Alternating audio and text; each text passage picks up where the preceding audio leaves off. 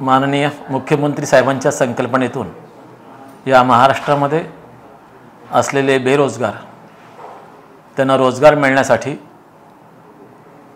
शिवरोजगार संघटनेची निर्मिती केली असून जे काही मराठी मुलं किंवा इतर धर्माची मुलं प्रशिक्षित आहेत परंतु त्यांच्या अंगी असलेल्या कलागुणांना वाव मिळण्यासाठी एखाद्या उद्योगाचं जायचं असेल तर शिव उद्योग सेना ही पहिल्यांदा या महाराष्ट्रामध्ये निर्माण केली असून त्याचं सर्व करण्याची जबाबदारी माननीय दीपकजी काळीत यांच्यावर शिंदेसाहेबांनी सोपवलेली आहे.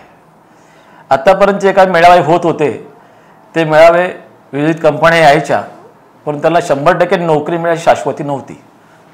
परंतु पहिल्यांदा ह्या बेरोजगार मेळाव्यामध्ये कंपन्यांबरोबरच काही बँकासुद्धा सहभागी होणार आहेत.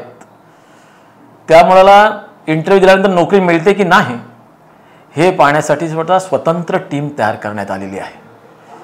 जो बेरोजगार त्या मेळाव्यात येईल त्याला शंभर टक्के नोकरी मिळालीच पाहिजे अशी संकल्पना मान्य दीपकजी काळीद यांची आहे.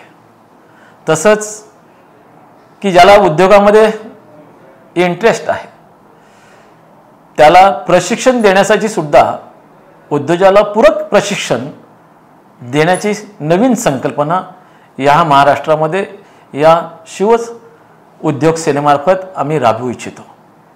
त्यासाठी लागणारं भांडवल आजही बऱ्याचशा बँकांचे प्रतिनिधी बाळासाहेब भवन येथे उपस्थित होते. लागणारं भांडवल आणि प्रशिक्षण हे त्या उद्योजकाला कसं मिळेल? त्यासाठी परिपूर्ण प्रयत्न करत आहोत. हे मेळाव्यानंतर ठाणे मुंबईमध्ये मर्यादित न होता संपूर्ण महाराष्ट्रामध्ये शिंदेसाहेबांचं ब्रीद वाक्य की कष्ट करायला काम मिळालंच पाहिजे. तसं बेरोजगाराला रोजगार मिळालाच पाहिजे.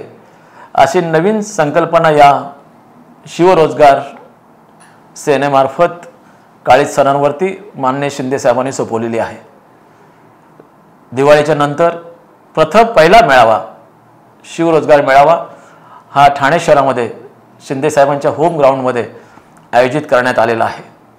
निश्चित या महाराष्ट्रातील बेरोजगारातील तरुणांनी आणि ज्यांना उद्योगामध्ये खरोखरच इंटरेस्ट आहे की मी उद्योग बनवून इतर पाच सहा मुलांना किंवा इतर पंचवा पाच पंचवीस बेरोजगारांना रोजगार कसा उपलब्ध करून देईन याची स्व ज्याची खात्री आहे की मला हा व्यवसाय करायचा आहे त्याला संपूर्ण सहकार्य या शिवउद्योग सेनेमार्फत देण्यात येईल. कुठल्याही प्रकारचं बँकिंग असेल प्रशिक्षण असेल हे सर्व देण्यासाठी शिव सहकार सेना ही कटिबद्ध आहे. याचा लाभ या महाराष्ट्रातील बेरोजगार आणि जे भ भविष्यात होऊ घातलेले उद्योजक आहेत त्यांनी घ्यावा अशी त्यांना माझी विनंती आहे. धन्यवाद.